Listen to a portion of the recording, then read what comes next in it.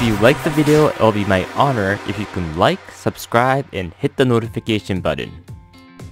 And there are a lot more figure diorama photography at the end of this video, so please watch and enjoy until the end. Now, let's begin. Hello everyone, how's everybody doing today? And today we are going to be doing a review on Star Wars Black Series, and this is the Clone Wars series. And we have Plo Koon on the right and Kit Fisto on the left. One thing I just recognized is that the Kit Fisto seemed to be super, super small for comparing to Plo Koon. So I don't know if that's right. I, I thought I thought he was supposed to be quite big, like quite tall, but from looking at it, he looks very tiny. Hmm, could be just me. And not only that, this Plo Koon might I might be wrong, but his eyes look slightly odd. His left and right seem to be very different. Like his the eye. I'll just focus there. His eyes seem to be very wide, uh, vertically on this side, while this side is more like proper. I don't know if you can get what I'm saying. It's it's it's uh it's weird because it looks this side the eye extended higher, like wide higher, for some reason. It just kind of I don't know. I think that is a print miss because on the sculpt, his his eye does come out to here and it's not focusing right so there you go the eyes um is supposed to be coming up to here but then his eye is actually printed top so probably they misprinted on my figure i think that's why could and it looks quite odd like this side is completely fine they nailed it the, the other side yeah they completely missed it because i can see the print coming out from his eye socket. So yeah, that's the print issue. Oh well. Um, still, a legendary Jedi he is. Just that he got um, defeated by Sidious in like a second or so, which is a little disappointment. But if you did watch the the animated series, he was quite a badass. And look at that hair tentacle. I don't know if these hair tentacle can do anything. Like, can they like move around and you know, like hold on to a lightsaber? Because if you can, then, you know, goodbye, General Grievous, because, you know, he could be holding on to, like, I don't know, like, 12 lightsabers or something like that. That'll be quite, you know, that'll be a quite epic scene. Like, Grievous, you know, brings out four lightsaber, and then, you know, Kit Fisto's, like, brings out, like, how many hairs he have? 1, 2, 3, 4, 5, 6, 7, 8, 9, uh, 10, 11, 12, and there's 14. So then, all of a sudden, all his tentacle moves up you know, wielding 14 lightsaber, plus he has two on hand, and that would be so much fun. My crazy idea sometimes goes everywhere. But anyhow, uh, due to this hair, he does not have much head articulation, and that's kind of, you know, understandable. Even his sideshow uh, figure I had, I give it away. That uh, he had minimal articulation. He can't, he can kind of look down, but then it's going back to his original um, place. So just consider as the head is a statue. There's absolutely no way you can kind of move him around. His elbow does come up that much, which is really nice, decent, and his elbow goes in that much, really fine.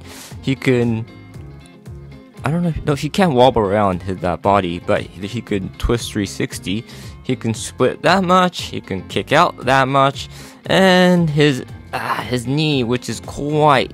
Uh, rigid, but it can bend that much, which is quite decent, and a little more articulation on his ankle. Nice, I like it. And if you're wondering, all the Jedi do have a different kind of belt strap. So here we go. He has a belt strap of this, kind. Looks quite simple.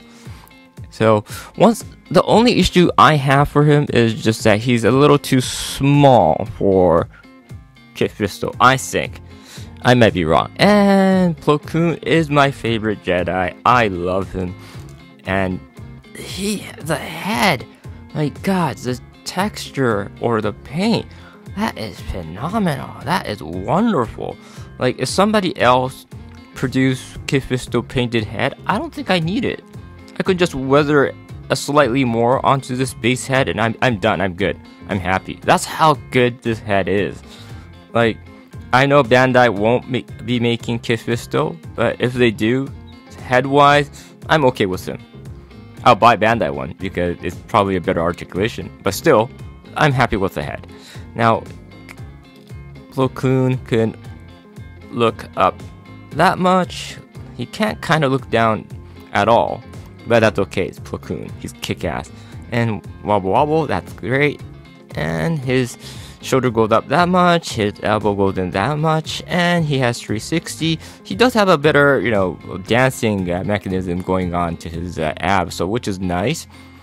And he can split out that much, and he can kick out that much, and his knee bends that much, which is almost like Fisto, and he had a decent ankle articulation, which is all nice. I love this figure; it's wonderful. And if you're also wondering, his belt design is like so. Excuse me.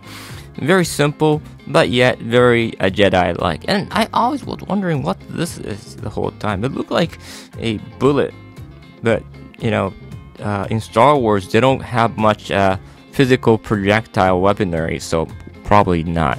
And for his hand, he had a well, it is a lightsaber wielding hand, but it could be also used as a force push kind of thing. Or Kit Fisto had a unique um, uh, force lightning.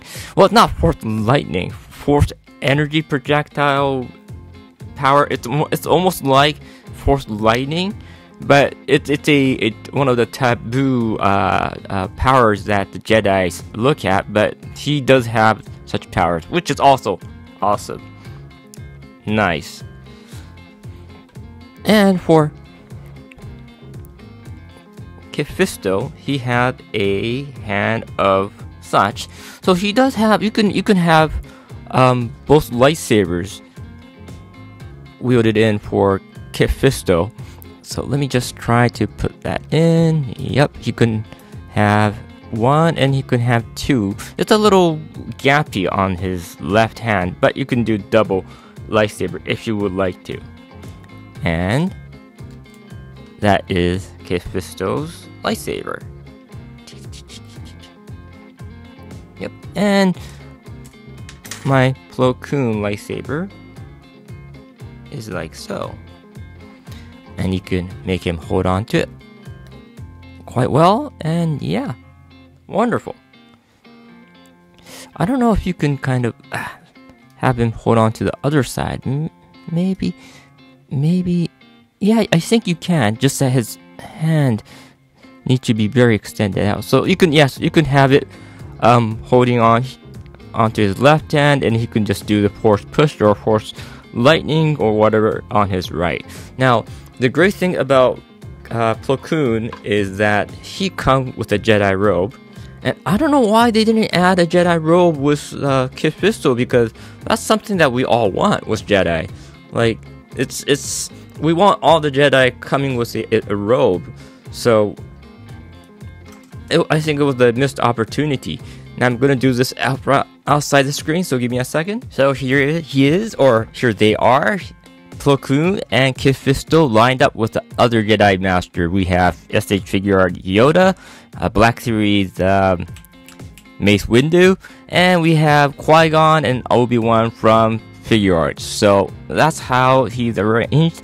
And again, maybe Kit Fisto's a little too tall. I don't know. I'm I'm just I'm just baffled with the Plo Koon being the smallest or the shortest. Well, excluding Yoda, of course, but he looks very tall and very short. And Black Series Mace Windu did came with a robe, which is not a oops, sorry about that, uh, not a great robe, but robe regardless.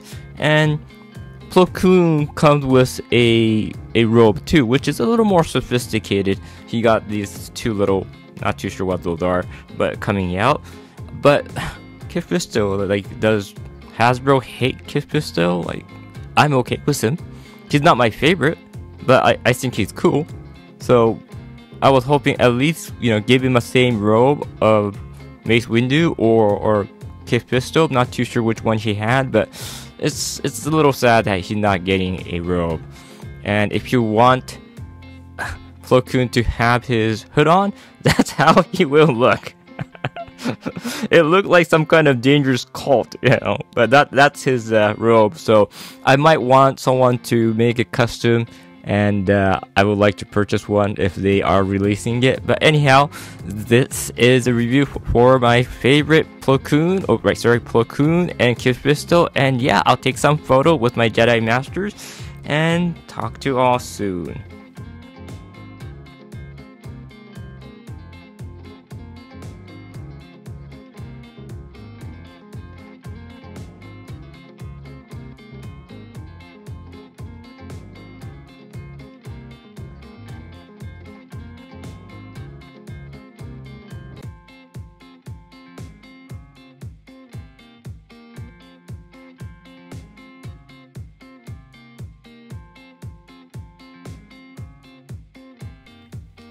Thank you very much for watching my figure unboxing photography review.